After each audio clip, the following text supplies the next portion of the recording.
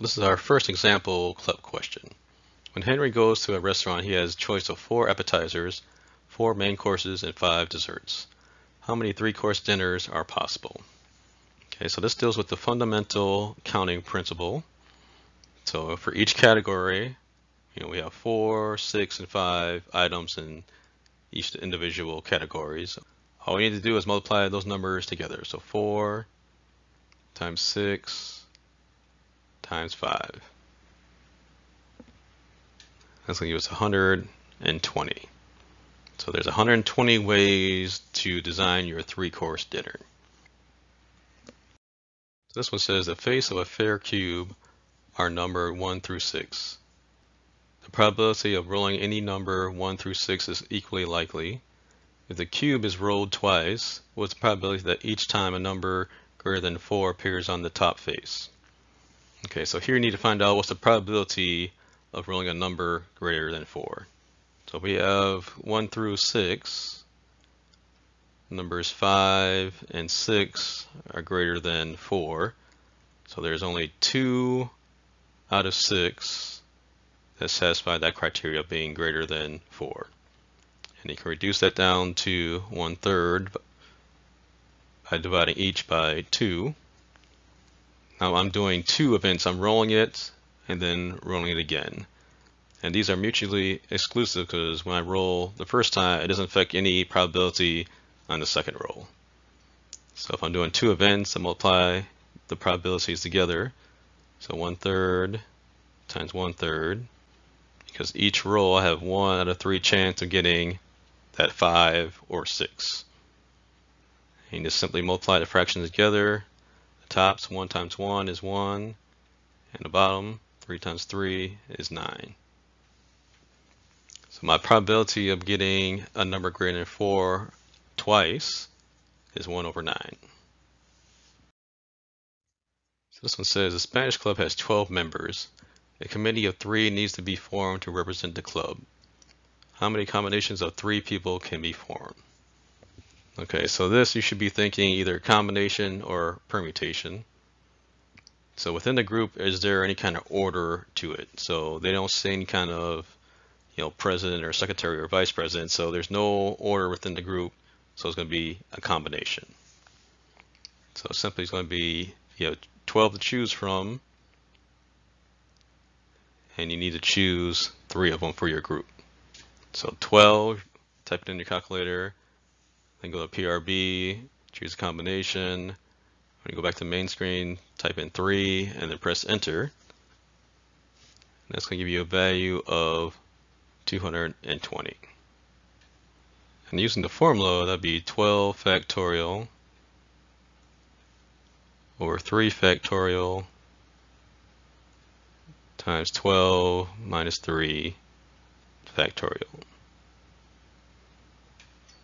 Again, that's going to reduce down to 12 factorial or 3 factorial times 9 factorial.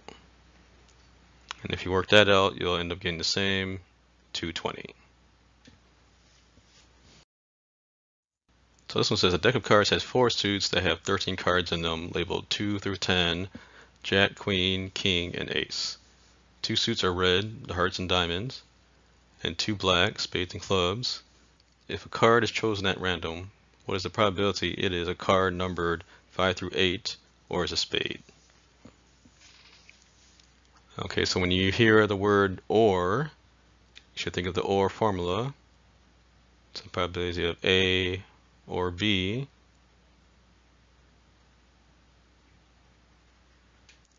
It's going to be the probability of A plus the probability of B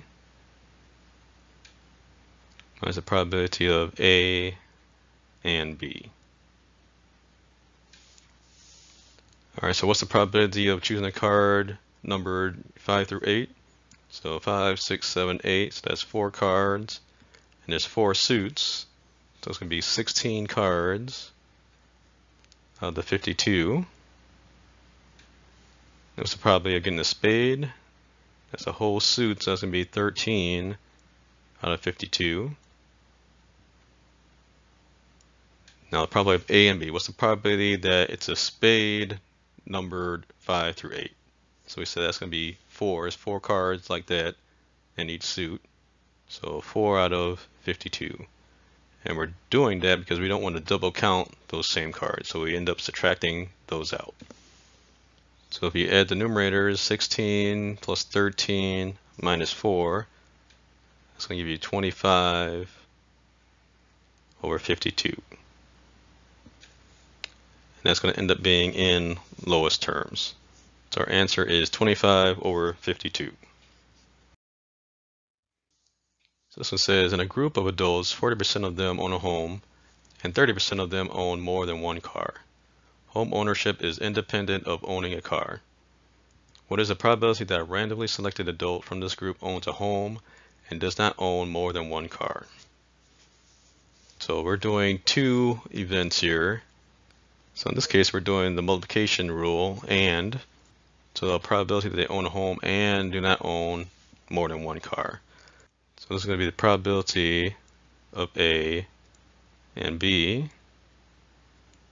Simply multiply probability of A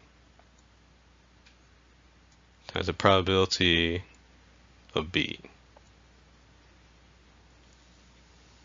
So probability of owning a house is 40%, so 0 0.4.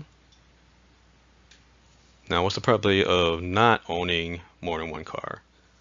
So if it's 30% that they own more than one car, the complement going to be 1 minus 0.3, which gives you 0 0.7. So probability of not owning more than one car is 0.7. So we got 0 0.4 times 0.7. That's going to give us 0.28. So probability is 0.28 or 28%. And this one says a class consists of 20 boys and 12 girls. A five-person team must be formed with three boys and two girls. How many different teams can be formed? Now in this case, we need to set up two combinations. So each group, there's no order within them, so it's going to be a combination and not a permutation. So two combinations, one for the boys and one for the girls. So from the boys, we have 20 to choose from. And we need to choose three, so 20 NCR3. And for the girls, we have 12 to choose from and we need to choose 2. if you use your calculator, the first one comes out to 1140, the second one 66.